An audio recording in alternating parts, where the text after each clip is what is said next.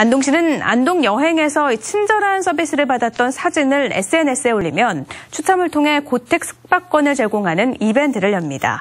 참여 방법은 직접 촬영한 친절 서비스 사진을 블로그나 인스타그램, 페이스북에 해시태그 안동, 여행 장소, 안동 여행, 스마일 안동을 걸어 게재하면 됩니다.